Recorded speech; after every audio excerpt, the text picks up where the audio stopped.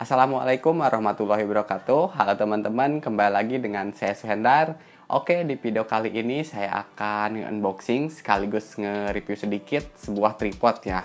Nah, untuk tripodnya ini sendiri tipenya Ki 999H ya.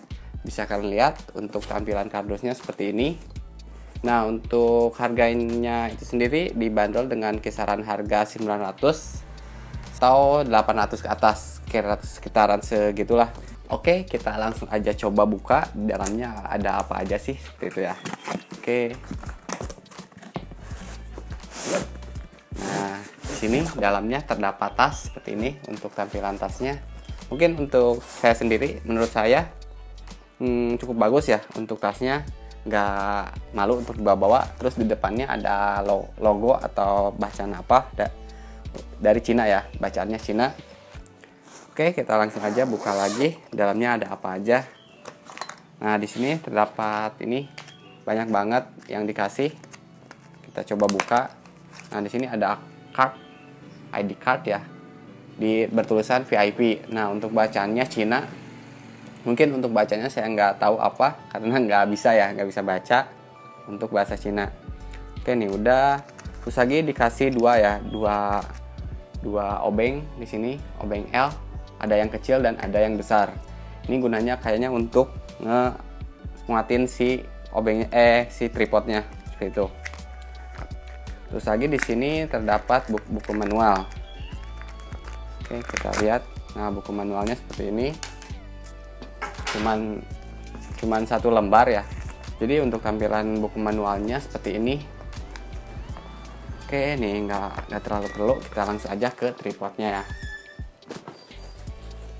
Oh, di sini ada masih ada.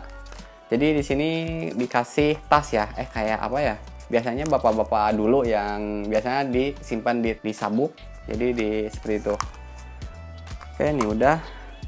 Terus di sini terdapat ini ya buat handphone karena di pembelian ada bonus buat handphone ya. Seperti ini oke ini udah kita langsung aja ke tripodnya oke untuk tampilan tripodnya seperti ini bisa kalian lihat. Untuk well quality-nya mungkin menurut saya cukup bagus kokoh berat ya. Lumayan berat. Jadi untuk kalian yang solo travel mungkin kesusahan ya seperti itu. Mungkin nah untuk di dua kaki di sini ada busa ya. Lembut banget. Di sini ada warna gold ya dipadukan dengan warna gold. Nih serunya warna hitam dipadukan dengan warna gold seperti ini oke ini udah. Mungkin untuk manjangin si tripod ini cukup mudah. Kalian tinggal putar aja ke kiri terus tinggal ditarik seperti ini. Terus untuk menguncinya mudah juga. Tinggal putar lagi ke sebelah kanan seperti ini. Mungkin itu aja. Kita coba lihat dulu dari atas ya. Kita tinggal putar aja seperti ini putar. Nah ini. Oke. Ini kita panjangin dulu biar sama kita putar. Oke dari atasnya. Seperti ini tampilannya oke di sini ada tiga pengunci untuk si bal ini ya. Biar kita bisa diputar-putar seperti ini. Biar bisa ke beberapa arah. Seperti ini. Nah, untuk menguncinya tinggal diputar-putar lagi aja, tinggal diputar, diputar.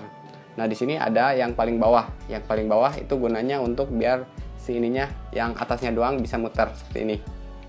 Nah, untuk menguncinya sama tinggal diputar aja, jadi nggak bisa ya seperti ini. Oke, untuk memasangkan si kamera atau handphone kita harus buka dulu ya.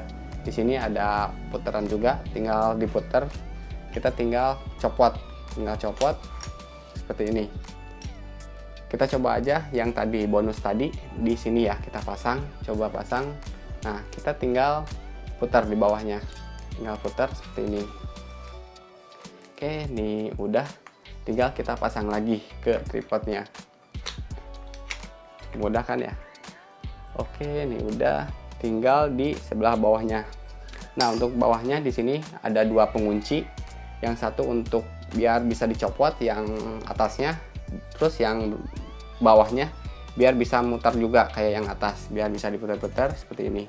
Nah kalau dikunci kita nggak bisa muterin ini.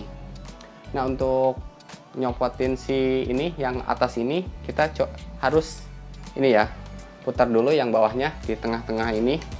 Si tripod harus kita putar biar bisa ngambil si yang atasnya seperti ini kita longgarkan dulu. Nah jadi ini ya bisa dicopot seperti ini. Bisa kalian lihat.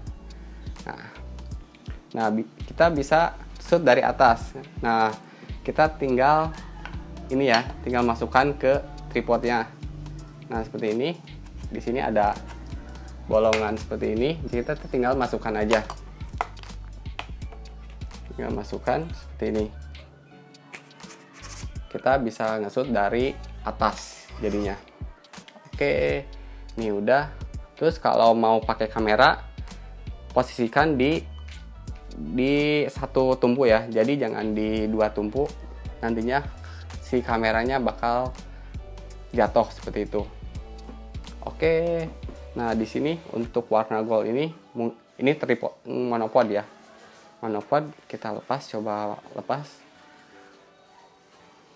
jadi kita bisa gunakan untuk hmm, vlog atau apa pun itu bisa ngesut dari atas.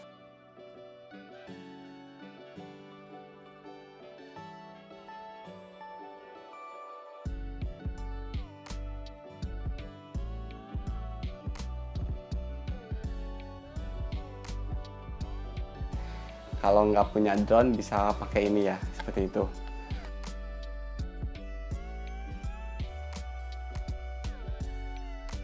terus untuk tripod ini bisa low angle ya. Jadi bisa diposisikan di bawah seperti itu. Mungkin review kali ini cukup sekian kan. Semoga bermanfaat. Jangan lupa untuk like dan subscribe. Jangan lupa juga untuk share ke teman-teman kalian. Jika ada yang ditanyakan soal review kali ini bisa nantinya di komen di bawah. Oke, assalamualaikum warahmatullahi wabarakatuh.